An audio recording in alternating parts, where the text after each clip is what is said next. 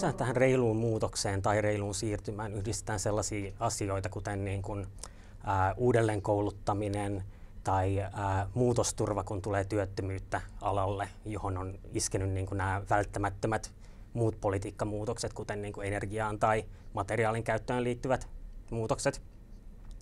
Ja siinä sitten tavallaan yritetään ikään kuin väliaikaisesti ää, paikata näistä, niin kuin, näistä välttämättömistä muutoksista aiheutuvia sitten niin kuin tarkoituksettomia, kohtuuttomia tilanteita.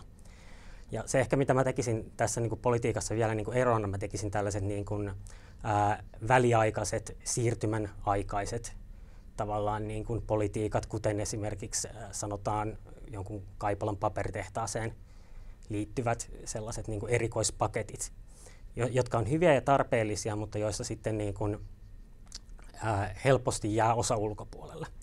Esimerkiksi tässä korona-aikana meillä sitten niin kun koronakriisi kunnolla alkoi, niin meillä tuli työttömille ja lomautetuille erillisiä niin kuin, paketteja tai eri, erilaisia niin kuin politiikkamuutoksia, sosiaaliturvamuutoksia,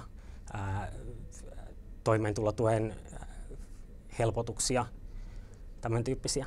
Ja nämä sitten tota, sellaiset ihmiset, jotka sattuu niin kuin näistä samoista ongelmista kärsimään vähän eri aikaan, jää sitten näiden ulkopuolelle. Ja se, minkä niin kuin itse haluaisin korostaa, on se, että niin kuin meidän pitää miettiä paitsi sitä tätä siirtymän aikaista ää, politiikan muutosta, reilua siirtymää reilun siirtymän aikana, niin myös sitä tulevaisuutta, mihin me halutaan siirtyä. Eli miten meillä voisi olla vielä nykyistäkin niin kuin, ää, muutoksia kestävämpää, eli resilientimpää, ää, palautumiskykyistä yhteiskuntaa ja hyvinvointia.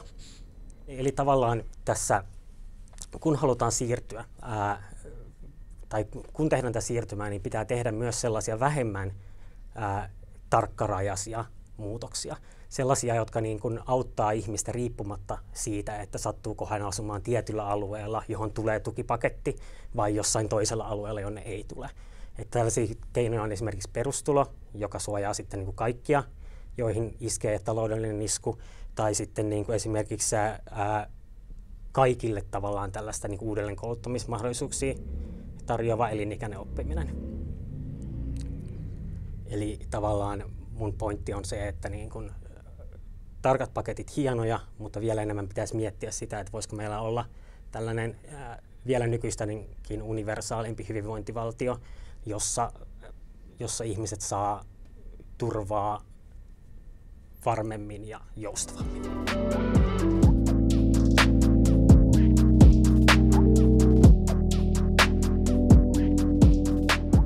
Sosiaalisen kompensaation merkitys tulee siinä, että nämä keinot, mitä me käytetään, kaikista tehokkaimmat keinot varsinkin, tämän niin kuin muutoksen aikaansaamiseksi, tämän halutun muutoksen aikaansaamiseksi, niin aina aiheuttaa muita vaikutuksia yksilöihin ja yhteiskuntaan ja pahimmillaan luultavasti niin kuin niin yhteiskunnan niin kuin köyhimpiin ja heikoimmassa asemassa oleviin.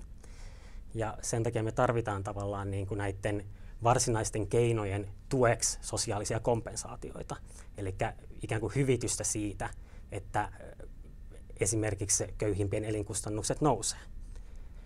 Yksi perinteinen tapa lähestyä tätä tai politiikan väline on se, että niin kuin sosiaaliturvan indeksit muuttuu, kun ää, esimerkiksi tällä hetkellä Suomessa energian hinnat nousee.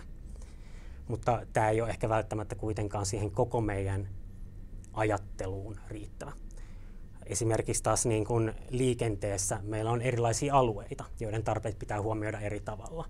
Ja tarkoitus ei ole, että sosiaalisella kompensaatiolla tuetaan ikään kuin sitä päästöjen tuottamista kaikille tai yleisesti, vaan kyse on siitä, että sillä torjutaan sellaiset niin kuin muuten näistä käytettävissä olevista laveista, tehokkaista, voimakkaista keinoista aiheutuvat sitten tämmöiset niin kuin, ää, tietyille erityisen ää, esimerkiksi li, au, autoliikennettä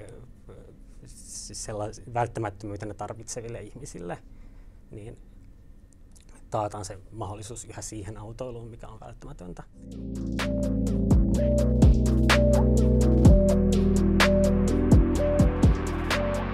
Sosiaalisen kompensoinnin kautta se liittyy sillä tavalla, että ää, ne veromuutokset kohdistuu kaikkiin silloin, kun ne on esimerkiksi kulutusveroja, kuten niin kuin energian tai päästöjen tai materiaalin verotusta. Ja sitten taas tavallaan niin kuin sosiaaliturva on sitten se väylä, minkä kautta tätä voidaan lähteä ää, kompensoimaan tai purkamaan, tai ei, ei purkamaan on väärä sana, sanoisin niin kuin helpottamaan ja tekemään hyväksyttäväksi. Et iso kysymyshän tässä on aina siitä koko veropolitiikassa ja sosiaalipolitiikassa, ehkä vielä veropolitiikassa isommin, on siis tästä reiluudesta, eli siitä millaisen tulojaan se saa aikaan. Ja samalla kun me tehdään tavallaan niin kuin tällaista niin kuin verouudistusta, jossa mennään enemmän ympäristöhaittojen verottamiseen ja muun tavallaan niin kuin haitallisen kulutuksen verottamiseen, niin samalla meidän pitää sitten niin kuin miettiä sitä, että mikä on tällaisessa maailmassa sitten se sosiaaliturva ja miten se rahoitetaan.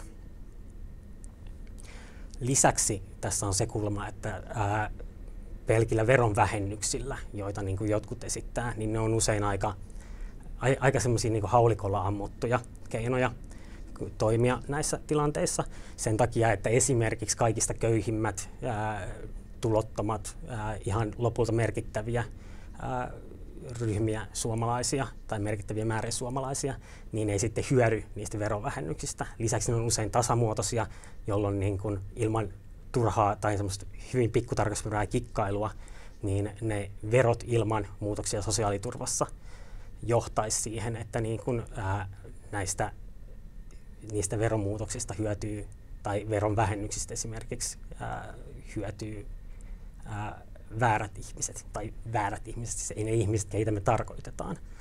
Eli jos me halutaan esimerkiksi ää, nyt kun energian hinnat nousee, niin muuttaa polttoaineveroa, niin se on ihan törkeän kallista, koska se menee kaikille, niille, jotka autoilee huvitseen, niille, jotka autoilee välttämättömyyden pakosta niille, jotka ää, on rikkaita, niille, jotka on köyhiä. Ja me halutaan kohdistaa näitä asioita, jonka me ei voida useinkaan tehdä niitä pelkästään veropolitiikalla. Se tulee halvemmaksi, ää, että me mietitään tavallaan niin kuin tarkempia keinoja tämän reilun muutoksen näkökulmasta.